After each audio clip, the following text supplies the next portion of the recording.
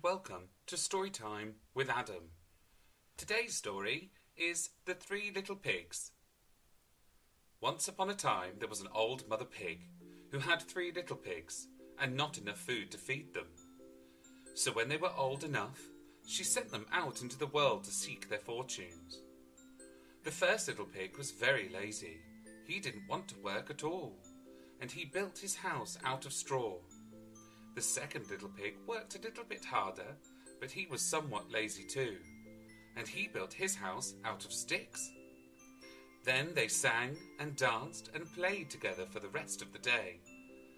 The third little pig worked all day and built his house out of bricks.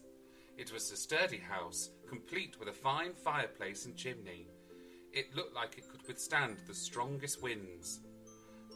The next day, wolf happened to pass by the lane where the three little pigs lived. And he saw the straw house, and he smelled the pig inside. He thought the pig would make a mighty fine meal, and his mouth begins to water. So he knocked on the door and said, Little pig, little pig, let me in, let me in. But the little pig saw the wolf's big paws through the keyhole. So he answered back, No, no, no, not by the hairs on my chinny chin chin.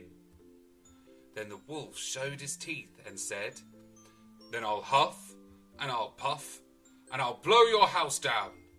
So he huffed, and he puffed, and he blew the house down. The wolf opened his jaws very wide and bit down as hard as he could, but the first little pig escaped and ran away to hide with the second little pig. The wolf continued down the lane, and he passed by the second house made of sticks. And he saw the house, and he smelled the pigs inside, and his mouth began to water, as he thought of the fine dinner that he would make. So he knocked on the door and said, Little pigs, little pigs, let me in, let me in. But the little pigs saw the wolf's pointy ears through the keyhole. So they answered back, No, no, no, not by the hairs on our chinny chin chins. So the wolf showed his teeth and said, Then I'll huff, and I'll puff, and I'll blow your house down. So he huffed, and he puffed, and he blew the house down. The wolf was greedy, and he tried to catch both pigs at once, but he was too greedy and got neither. His big jaws clamped down on nothing but air, and the two little pigs scrambled away as fast as their little hoofs would carry them. The wolf chased them down the lane, and he almost caught them. But they made it to the brick house and slammed the door closed before the wolf could catch them. The three little pigs, they were very frightened. They knew the wolf wanted to eat them, and that was very, very true. The wolf hadn't eaten all day, and he worked up a large appetite, chasing the pigs around, and now he could smell all three of them inside, and he knew that the three little pigs would make a lovely feast.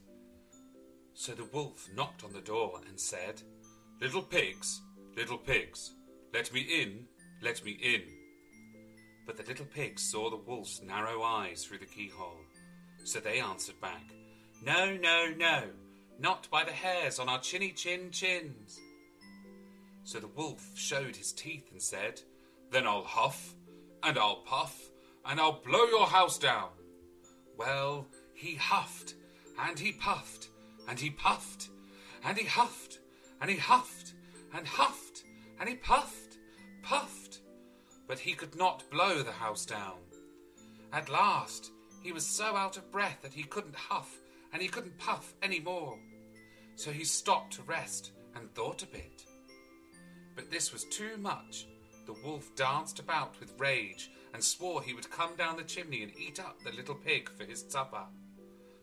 But while he was climbing onto the roof, the little pig made up a blazing fire and put a big pot full of boiling water onto it. Then, just as the wolf was coming down the chimney, the little piggy pulled off the lid, and plop! In fell the wolf into the scalding water. Yowie! he screamed, and shot back up the chimney, thinking his tail was on fire. So the three little pigs saw the big bad wolf flying away from their homes over the treetops, clutching a very sore tail. So the three little pigs lived happily together ever after in their very smart house of bricks.